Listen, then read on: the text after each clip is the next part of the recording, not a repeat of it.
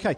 Um, the first talk I did here was talking about flags, but I'm going to go back to science now. I'm going to talk about a molecule called ATP, what I call nature's unsung, he- unsung hero. Now, a lot of you won't have heard of ATP, but you may have heard of these molecules. So, DNA, hopefully everyone's heard of, as well as uh, proteins, of which enzymes are a type of protein, carbohydrates, that's your sugars, your starch, very much found in potatoes, but you may not have heard of ATP. ATP is this molecule here. Now, its full name is adenosine triphosphate, which I'm not going to mention again. Um, please don't be put off by the uh, rather scary figure of it, but the key thing is the three orange and red bits on the left. Now, it's got plenty of roles. It's got, as we'll see, it's got a key role in DNA, cell signaling, essentially how bits of your body talk to each other, and most importantly, as an energy currency. So DNA is, hopefully we all know, the language of the genes, where the units of heredity are. It's also known as the blueprint of life, and it consists of four what are called base pairs. And these are A, C, G, and T. And the A is ATP. So no ATP, no DNA. And just to illustrate that, you can see uh, the ATP marked as yellow in this strand of DNA. So obviously it makes up about a quarter of it. So absolutely vital for DNA. So none of us would be here without ATP.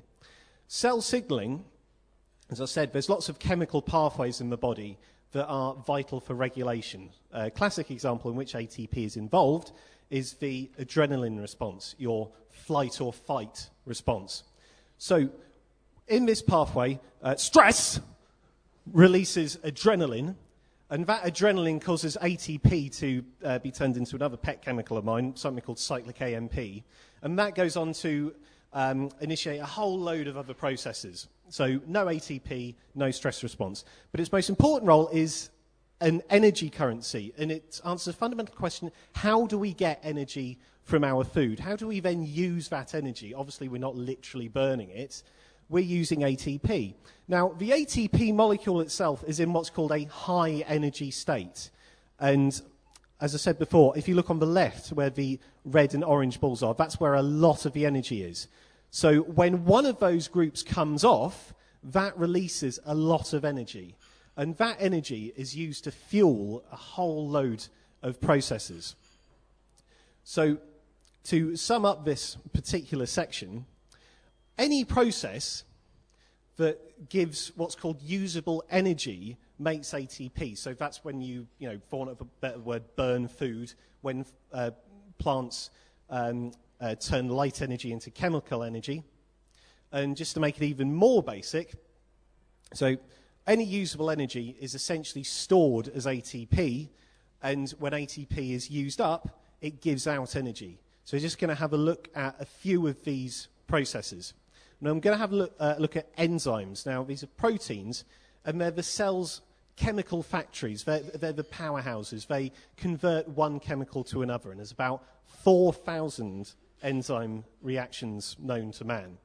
And a typical enzyme looks a bit like this. Here you can see it's converting chemical A into chemical B, and it's doing that by using the energy from ATP.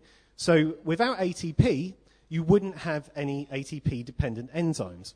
It's also important for a process called active transport. Now, usually, if you've got a load of molecules in a space, they will diffuse out and fill that space.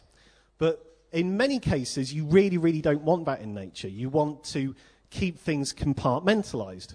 And there are enzymes uh, throughout nature which do that. They pump, a, uh, uh, they pump uh, chemicals from areas of low concentration to higher concentration using the energy of ATP to do that.